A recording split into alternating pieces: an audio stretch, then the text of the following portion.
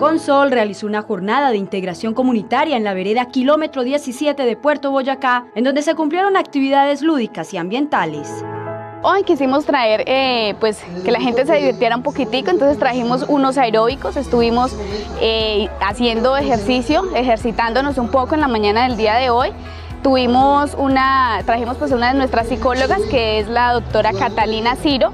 Ella estuvo acompañándonos, estuvo con los niños, estuvimos pintando un rato. De igual manera trajimos una persona que nos ayudó pues con la parte de peluquería. Estas actividades que integran a la comunidad son de suma importancia para la construcción de la doble calzada. La empresa hace este tipo de encuentros porque nosotros lo que buscamos es fortalecer los vínculos que tenemos con todas las comunidades que tenemos a lo largo del sector vial. La comunidad siempre ha estado muy abierta a todo este tipo de eventos y pues más porque son cosas que eh, ellos también están aprendiendo, entonces están muy abiertos a todas las enseñanzas que nosotros queramos brindarles. Algunos de los habitantes de la comunidad que disfrutaron de esta integración nos dieron su opinión. Es muy buen proyecto que se comparta con la comunidad.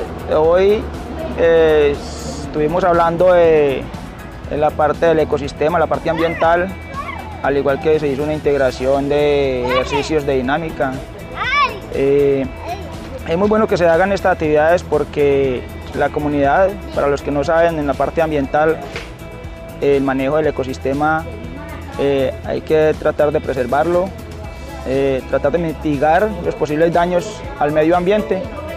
Se hizo aeróbicos, se estuvieron en una charla con los niños, lo estuvieron para pintando y luego pues el taller que nos hicieron a nosotros más la evaluación para ver cómo estábamos y cómo y qué entendimos de la, de la capacitación que nos dieron.